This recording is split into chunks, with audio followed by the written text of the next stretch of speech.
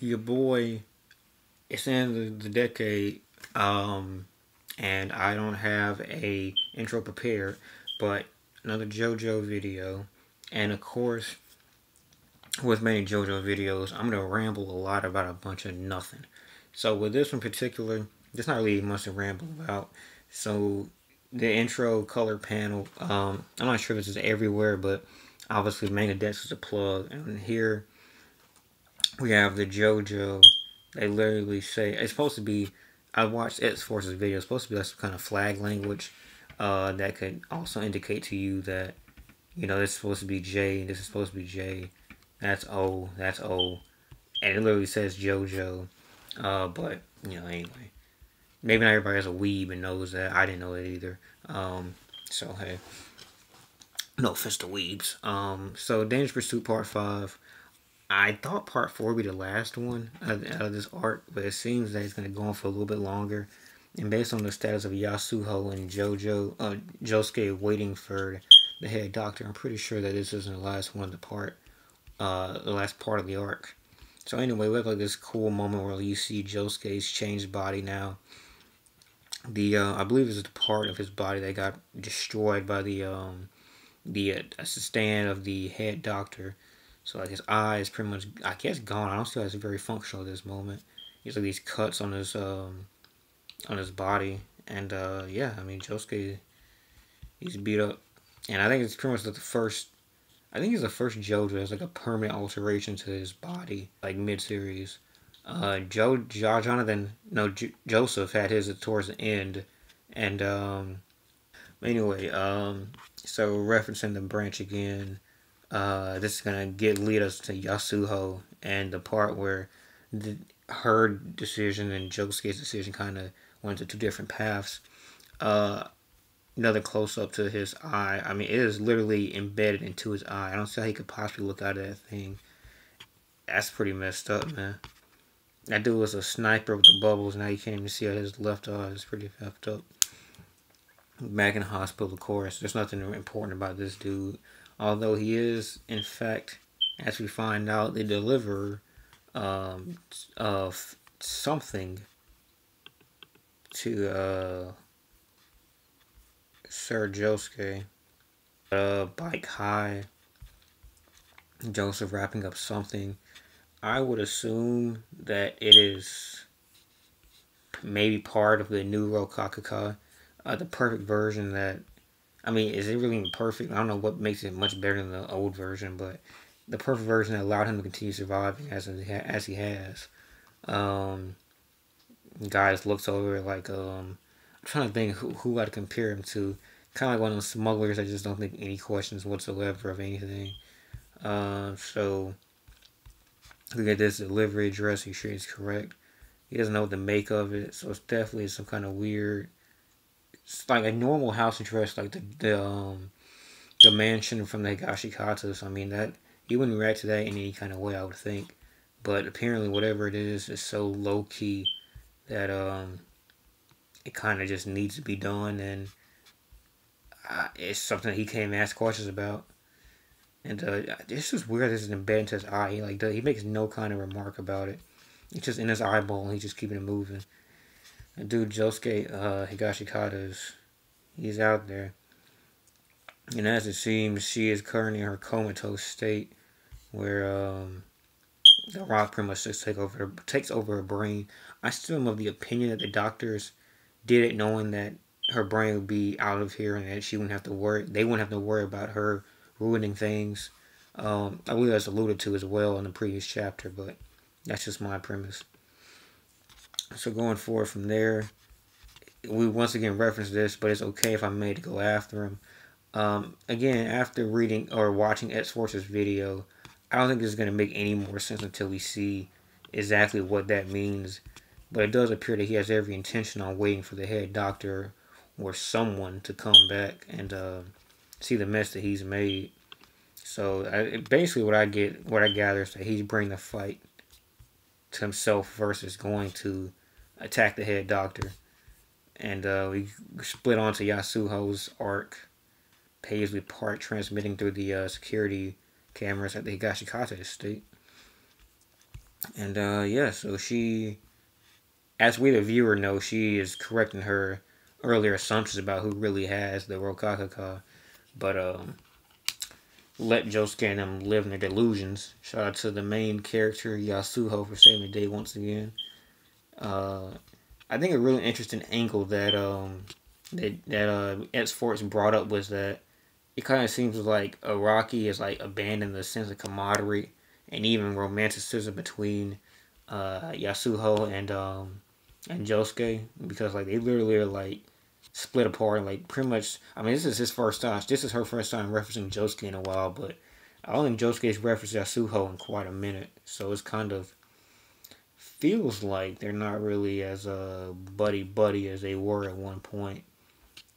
But yeah, I think you know, not is that min that's not missing kanji, uh, but he does in fact sense a stand in his presence, and uh, she flaps into his butt, his butt phone. I don't know why y'all do it to yourself unless you're just fat or your jeans are just really tight. You can't fit in your, your front pocket, but that's not the wave. So anyway, uh, big bro uh, what's his name? Joe is it? It's not Jobin. Uh, Joshu. Joshu leading Paisley into again. We the viewer know is where the World Rokakaka is stored at. However, there's nothing as we can later find out. Um, nothing that she can really do as a stand because there's no technology for to transmit off of. And uh, there's something that's that is alluded to later on in the chapter it was very integral and in my beliefs makes me think that Jobin knew that Yasuho would figure it out at some point. I don't know how, you know, it's sort of sort of same way that, you know, Aizen, you know, I, I have my um my plan plans like like centuries later in the in the um, timeline, but he just knows. That's basically what this is. Jobin knew that uh Yasuho was coming. So anyway, I think this is this makes me believe I, I don't think that um our guy S Force referenced this too much, but this makes me believe this is Norisuke that um we I believe this is probably really soon to the Norisuke that will be I guess off by uh, Tsurugi and um Jobin Jobin, excuse me. I think that's what we have here. They all are in pretty poor states uh, due to Tsurugi's state.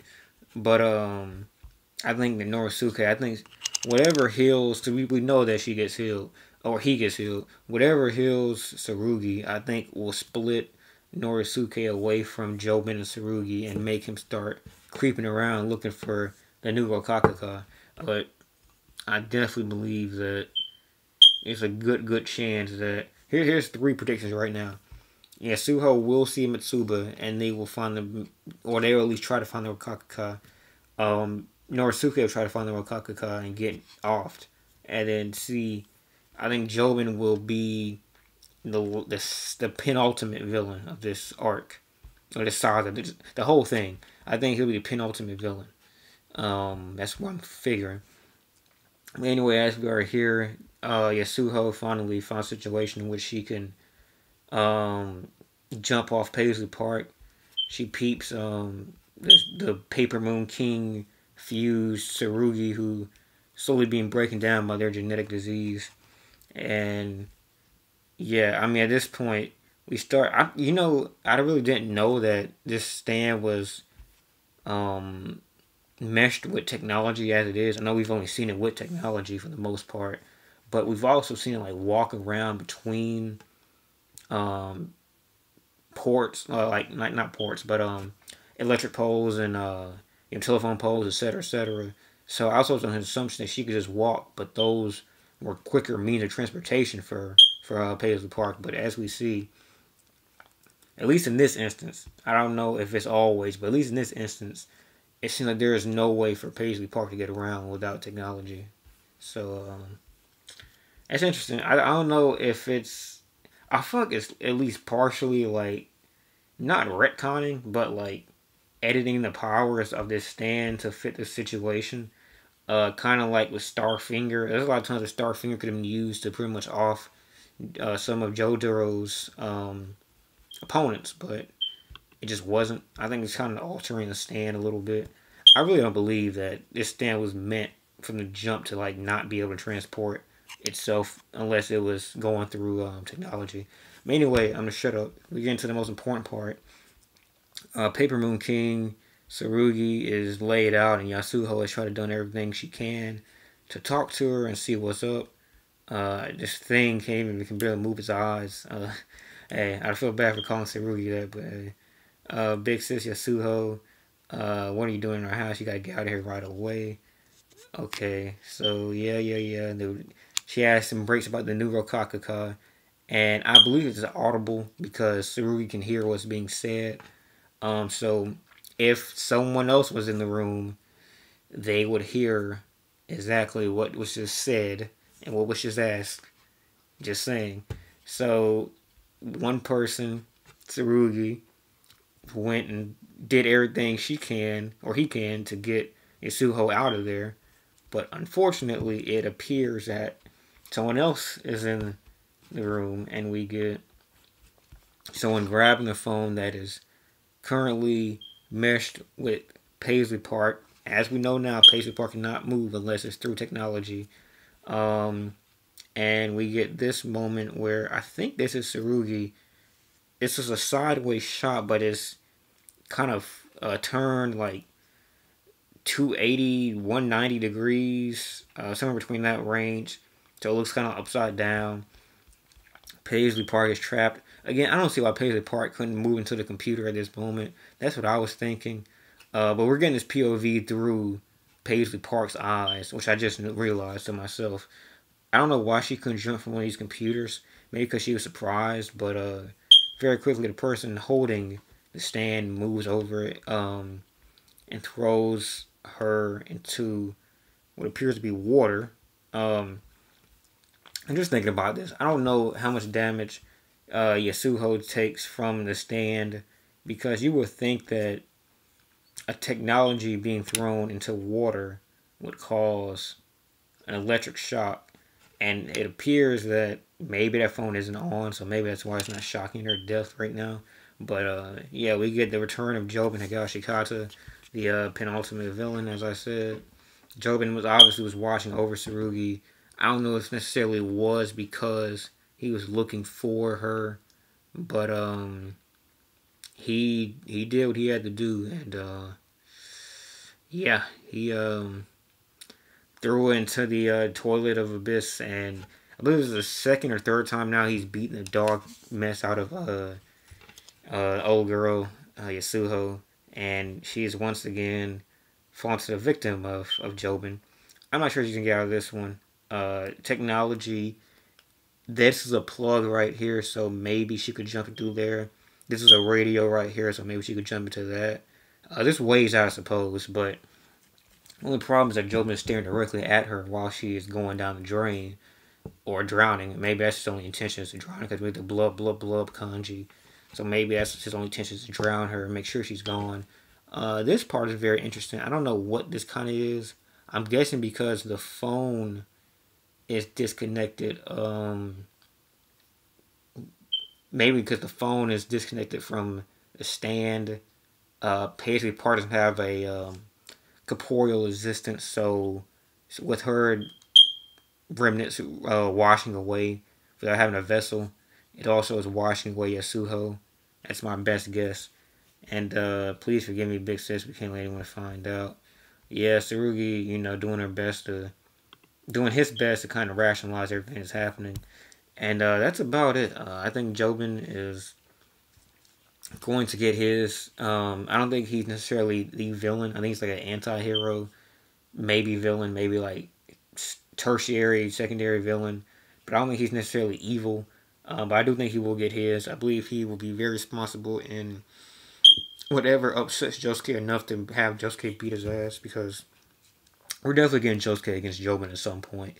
Uh, I wouldn't be surprised at all if Jobin ended up killing uh, Mamezuku, for example, because Mamezuku's definitely have a part in this towards the end, and uh, Mamazuka will be needed to, to you know cultivate the branch and all that as well. So we're definitely gonna have him, and I wouldn't be surprised to see if he uses um, plot development to make uh, Josuke mad enough to, to do something. Because if Josuke be, or Yasuho being embarrassed and beaten down by Jobin repeatedly wasn't enough for Josuke to just face him straight up, then hey, but that's it for me. Hope you enjoyed the video. Peace.